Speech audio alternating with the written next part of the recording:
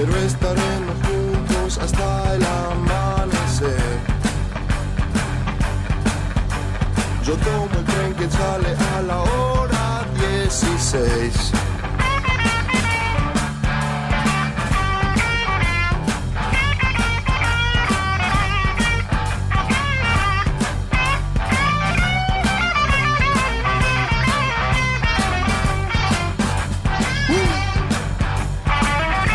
Hola, salve.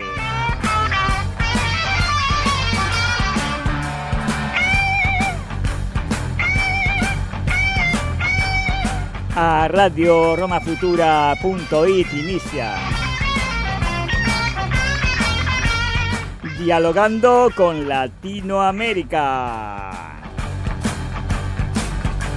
Pero estaremos juntos hasta el amanecer.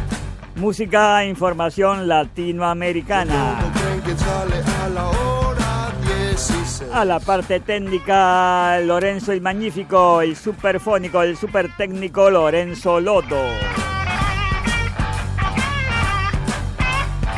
Dialogando con Latinoamérica, un programa que ha creado y conduce el flaco Alberto Polinori.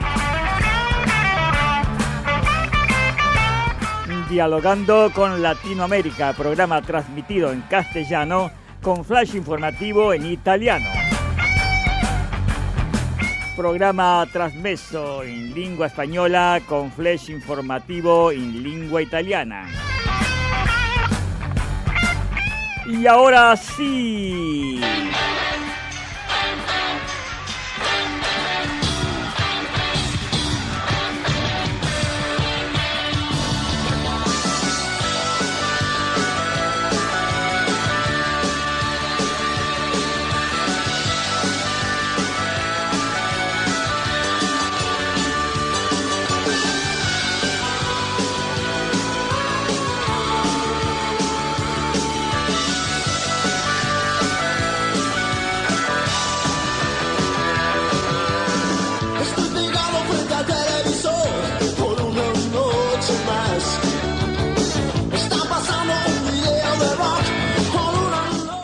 Ahora sí, ahora nos vamos al aeropuerto de Fiumicino a tomar el avión que nos llevará hacia la parte austral del mundo para realizar nuestro viaje de música e información por las fascinantes y contradictorias tierras latinoamericanas.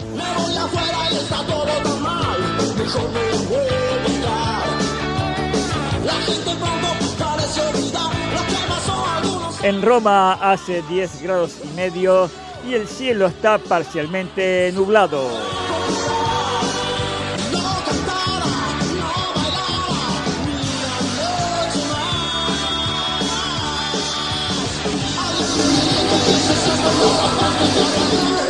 Pero antes de partir, una obligación moral.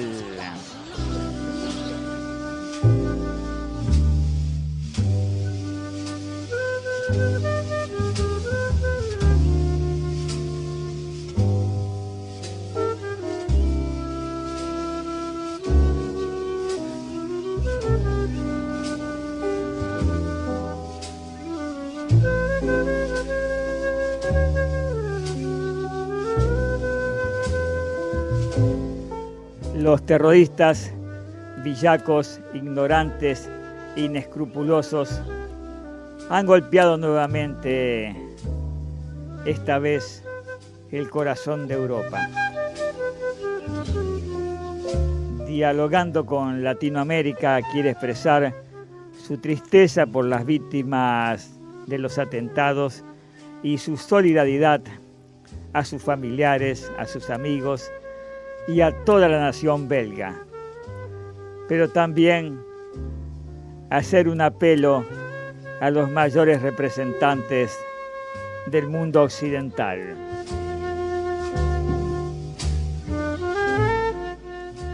Señores, es tiempo de hechos, no de palabras. Es hora de estirpar definitivamente la causa y no el efecto. Basta de reenvíos.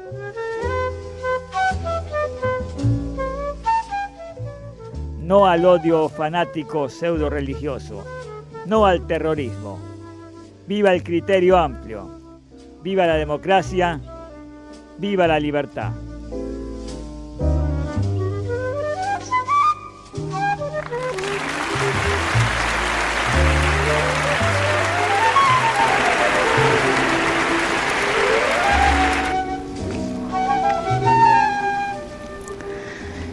I terroristi vigliacchi, ignoranti, inescrupolosi hanno colpito nuovamente. Questa volta il cuore dell'Europa.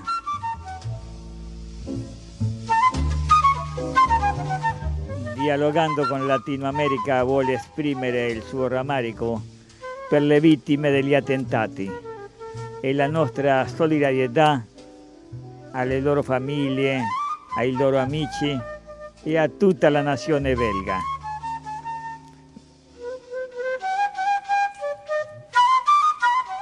Ma anche fare un appello ai maggiori rappresentanti del mondo occidentale. Signori, è tempo dei fatti e non di parole. È ora di stirpare definitivamente la causa e non l'effetto. Basta coi rinvii. No al odio fanático pseudo religioso, no al terrorismo. Viva el criterio amplio, viva la democracia, viva la libertad.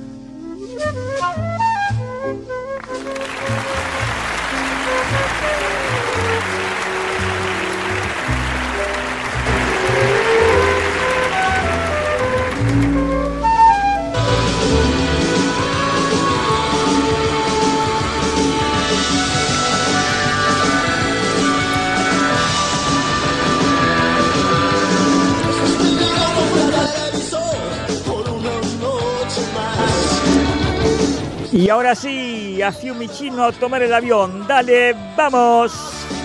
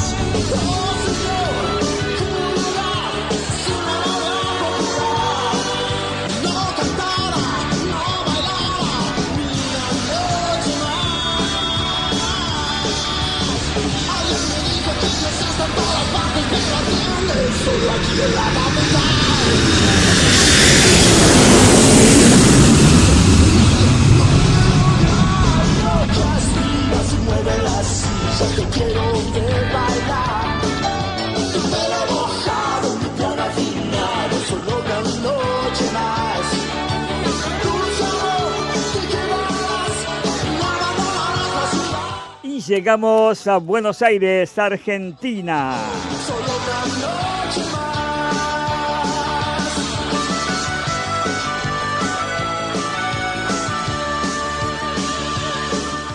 En Buenos Aires son las 20 y 28. Hace 25 grados y el cielo está límpido.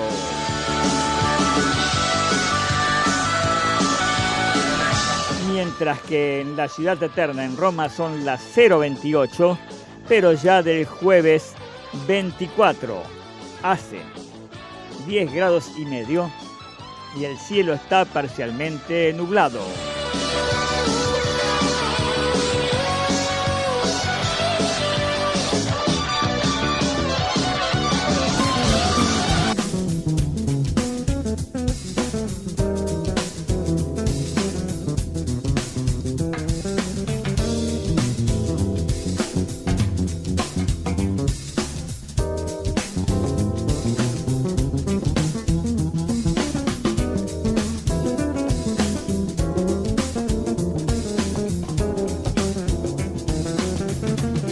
la información de Argentina.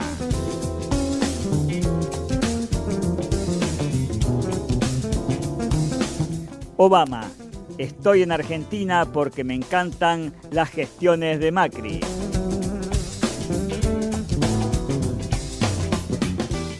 Entre risas, el presidente de Estados Unidos dijo hoy que tomó su primer mate y dijo también que su hija quieren conocer al mejor jugador del mundo, a Leo Messi.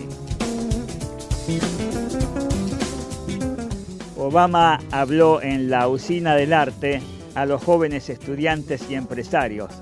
Respondió a, múltiples preguntas y admitió me gustaría que nosotros nos empeñásemos en ser más conscientes del mundo que está fuera de los Estados Unidos. Y reconoció que, por ejemplo, en su país no tiene mucho éxito aprender idiomas extranjeros. Mientras que su mujer, Michelle Obama, almorzó en una parrilla en San Telmo.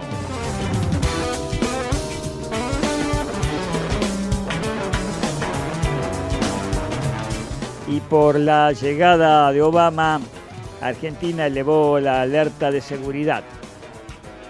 La decisión fue adoptada durante una reunión hecha en la Casa Rosada y el gobierno de Argentina dispuso ya desde el martes pasado el nivel de alerta mayor en todas las fuerzas de seguridad y medidas adicionales luego de los atentados eh, terroristas en Bruselas y ante eh, la inminente llegada de Obama, la ministra de Seguridad, Patricia Bullrich, Bullrich, había informado de las medidas adicionales de seguridad que se habían tomado y que se dispuso un nivel de alerta mayor en todas las fuerzas de seguridad. En consecuencia, ahora más de 3.000 miembros de diferentes fuerzas de seguridad argentinas acompañan a los 300 eh, agentes del Servicio Secreto Presidencial de la Casa Blanca y también participan grupos especiales de los Marines. Además de eso, este,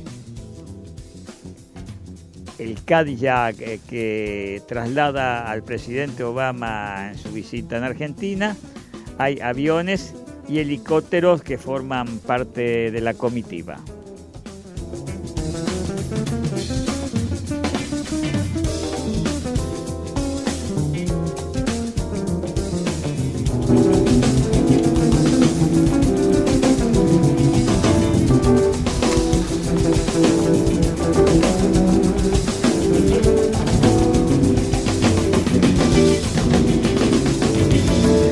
El Senado argentino dio el visto bueno al principio de acuerdo con los fondos holdouts.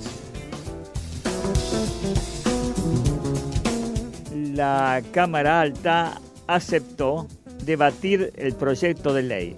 El Senado argentino eh, aceptó la debatir el proyecto de ley que aprueba el principio de acuerdo con, con los fondos eh, holdouts, el que ha realizado el gobierno de Mauricio Macri para saldar una multimillonaria deuda en Nueva York. La iniciativa ya cuenta con el voto afirmativo de la Cámara de Diputados y la sesión final está prevista para el 30 de marzo con respaldo de sectores del centro izquierda centro derecha del opositor peronismo que controlan la Cámara Alta. El entendimiento tiene el visto bueno del gobierno de Estados Unidos y se espera que el presidente